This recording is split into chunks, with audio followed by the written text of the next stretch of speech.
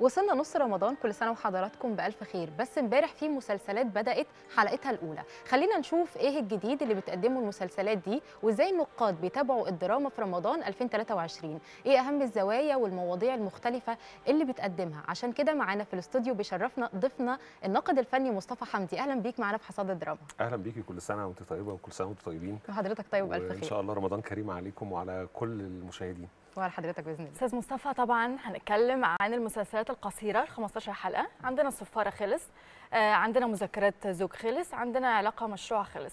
شايف إزاي مسلسلات ال 15 حلقة ده ترند جديد أو بشكل آه، بقى موجود بشكل أكبر في الدراما المصرية السنة دي مبدئيا أنا أنا بشكل شخصي بحب مسلسلات ال 15 حلقة لأنها بتبقى دايما يعني بحكم ال- ال- العدد الحلقات فده بيوفر للكاتب إنه يقدر يقدم لنا نص مشدود بلغة ال- الدراما يعني صح. إنه ما فيش مش هيعاني من أي مشاكل قد تتعلق مط، بالمط تطويل. والتطويل أو زيادة الأحداث في نفس الوقت حتى كمان نوعية المسلسلات اللي اتعملت 15 حلقة المسلسلات دي كانت مساحتها الدرامية مناسبة جدا الحبكة يعني ما والحبكة. حصلش خلل في الحبكة ما حصلش خلل وحتى كمان المواضيع يعني مسلسل كوميدي زي الصفاره هو ال- ال- الحدوتة كلها كانت ماشية في آه، خط درامي واحد آه، أغلب الأحداث حتى لو في تنوع في الشخصيات بيحصل أو بنشوف آه، مغامرات مختلفة. لكن في النهاية ما وقعناش في فكرة إنه 30 حلقة فالكاتب هيبقى مضطر إن هو يعمل حاجات كتيرة أو مغامرات والناس مثلاً مختلفة تبدأ والناس تزهق. تبدأ تزهق. آه.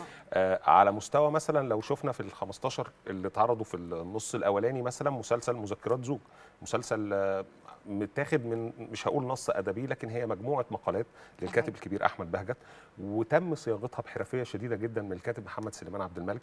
فاتعملت الموضوع كان فعلا يحتمل فكرة ال 15 ما يقدرش إنه أفرده لغاية 30 حلقة. فهنا أنا بتكلم على إنه في وعي بالقماشة الدرامية اللي أنا شغال اللي هو. ان إحنا نخلي الحبكة الدرامية ليها بداية ونهاية والقصة نفسها تكون ما تستحملش مط وتطويل بحيث إن المشاهد يبقى مستمتع ويبقى وصل له الرسالة وما مزهقش يكمل. بالظبط. على مستوى تاني آه، فكرة ال 15 حلقة بتسمح للمشاهد إنه يشوف نجوم كتير في شهر رمضان.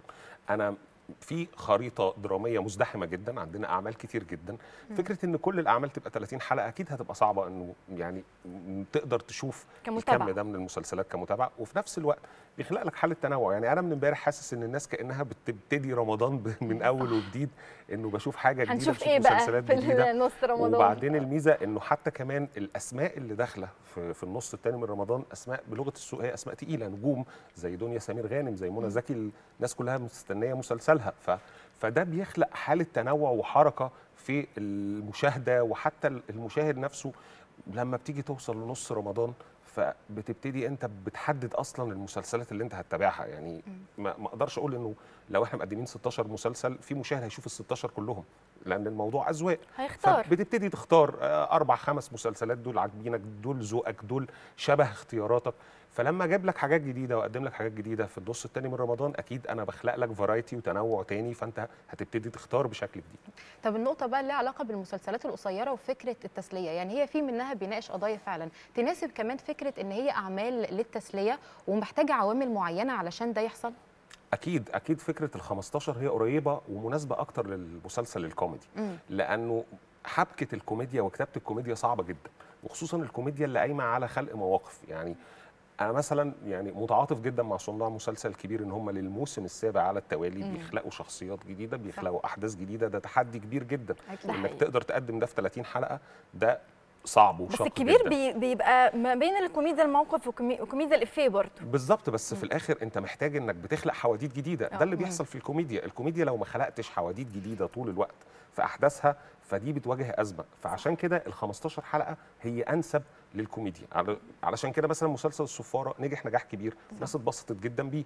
وأنا متوقع برضو إن دنيا سمير غانم مسلسلها بعد. حلقتين ثلاثة يبتدي الناس تتفاعل معاه لأنه إحنا عندنا مشكلة كبيرة جدا في ال social media هي الأحكام المطلقة السريعة اللي بتنطلق من أول. حلقة فيعني مبدئيا لازم ناخد وقتنا في المشاهدة حلقتين ثلاثة وبعدها نقدر نقول إنه آه، المسلسل ده كويس المسلسل ده مش مناسبني أو مش على ذوقي